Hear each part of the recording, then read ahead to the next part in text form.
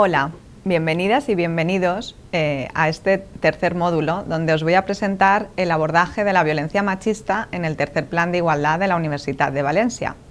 Yo soy Inés Soler, técnica de la Unidad de Igualdad y me encargo del Observatorio de la Igualdad en esta unidad. Vamos con la primera lección que, presenta este, en qué ha consistido el tercer plan de la Universidad de Valencia. Este documento de trabajo, que es el, Plan de Igualdad, es un documento aprobado recientemente, en abril de 2019. Eh, es un documento ambicioso, pero realista y alcanzable, y tiene una vigencia de cuatro años, desde el 2019 hasta el 2022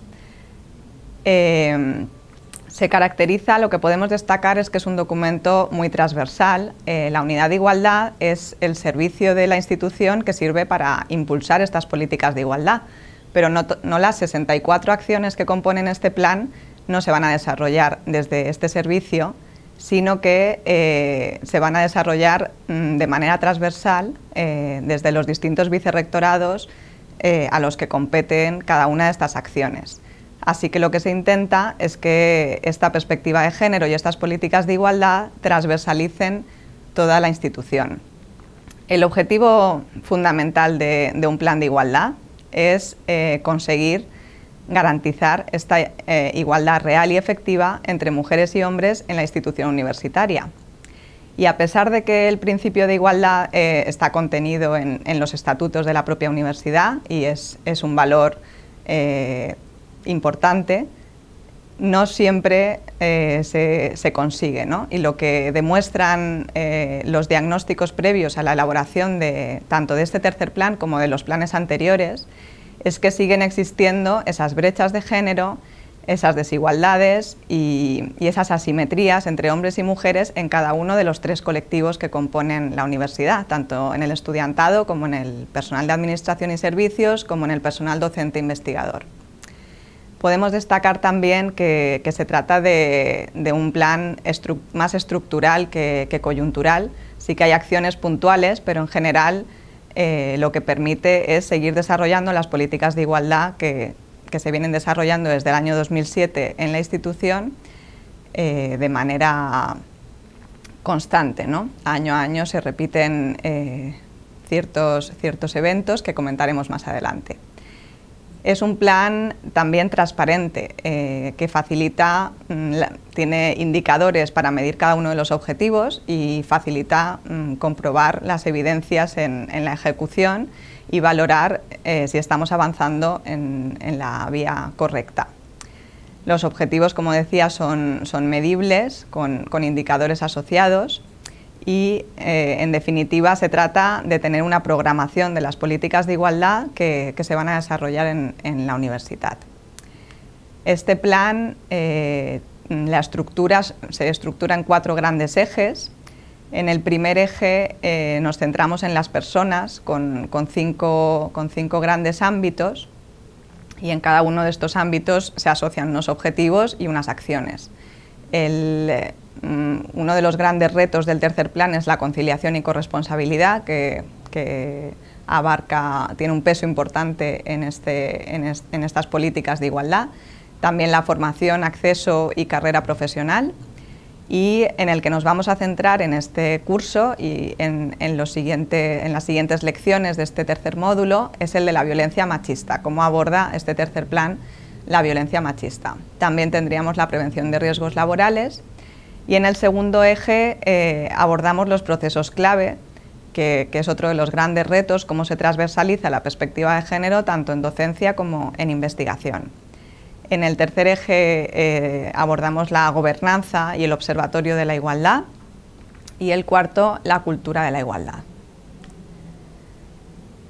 Este ámbito que decíamos de la violencia machista, que está en el primer eje del tercer plan, tiene como objetivo asociado el eh, conseguir que el clima institucional de tolerancia cero frente a las violencias machistas, dando la adecuada protección a las víctimas. Hay siete acciones vinculadas a este objetivo que iremos abordando en las siguientes lecciones y los indicadores que nos permiten saber si vamos en la, dirección correcta y si se está consiguiendo el objetivo son el, número de casos y víctimas de violencia machista afloradas, eh, las estadísticas recogidas de, estos casos de mujeres atendidas, y el segundo indicador sería la satisfacción de estas mujeres denunciantes con la atención recibida, eh, fundamentalmente en la unidad de igualdad. ¿Qué se viene haciendo ya en la universidad que contribuye a alcanzar el objetivo? Eh, destacar el acto institucional que se conmemora, donde se conmemora el 25 de noviembre, Día Internacional para la Eliminación de la Violencia contra las Mujeres. Eh, es, un día eh, acordado mm, por la resolución de la Asamblea General de la ONU y en la Universidad de Valencia desde el año 2010 se viene mm, celebrando eh, o conmemorando este día con una, con una concentración silenciosa eh, a las puertas del rectorado y lectura pública del manifiesto eh, que lee la rectora o el rector hasta hace no tanto. Y lo, que, lo que constatamos de este manifiesto es que efectivamente se, se deja clara el posicionamiento institucional de tolerancia cero frente a estas violencias, pero hay una escasa mención a la violencia sexista que se produce dentro de las universidades, que sigue quedando eh, bastante oculta.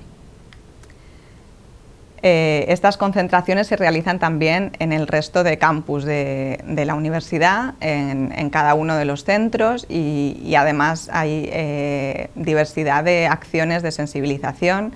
y de formación que, van, eh, que contribuyen a sensibilizar sobre, sobre la importancia de, este día y de, y de, lo que representa las violencias contra las mujeres. Entonces, desde la Unidad de Igualdad y desde este plan se, se propone una, esa coordinación eh, de todas las actividades en torno a, esta fecha señalada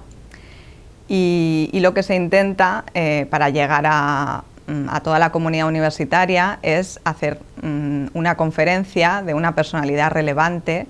eh, de una académica o activista o mujer mm, o persona reconocida en el, ámbito de, la violencia machista. En los últimos años eh, nos han acompañado eh, Soledad Murillo, Nuria Varela, Marisa Soleto, Nadia Gulam y bueno, pues han sido actos con, mucha asistencia de, estudiantes y de personal de la universidad que consideramos que han contribuido a, sensibilizar. También eh, mencionar las concentraciones silenciosas eh, ante cada asesinato de mujer por violencia machista, eh, donde se muestra pues, el rechazo, la solidaridad con la víctima y su familia, y, un poco visibilizar el problema. en, la NAU, que es donde se encuentra la unidad de igualdad, se despliega una, pancarta con, la cifra de víctimas que se, que se, producen cada año y que lamentablemente eh, sigue aumentando y, bueno, pues es una, muestra más de rechazo.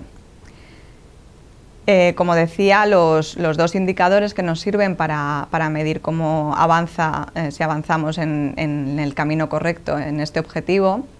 eh, sería ir viendo el número de casos y las víctimas afloradas. Y, desde que recogemos esa, estadística, desde el año 2016, que atendimos a nueve mujeres, pues no han dejado de aumentar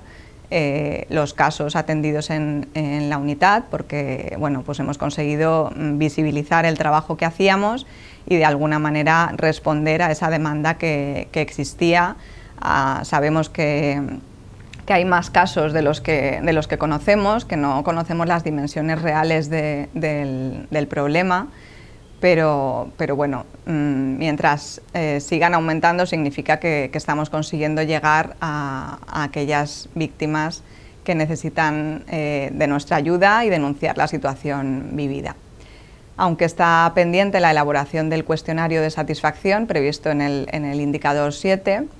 eh, sí que las víctimas de violencia de género y violencia machista eh, que atendemos eh, se muestran altamente satisfechas con, la atención prestada en la unidad de igualdad. Realizamos una, escucha activa, carente de, juicio y luego pues todo el acompañamiento y mejora en sus condiciones de estudio o de trabajo en nuestra universidad.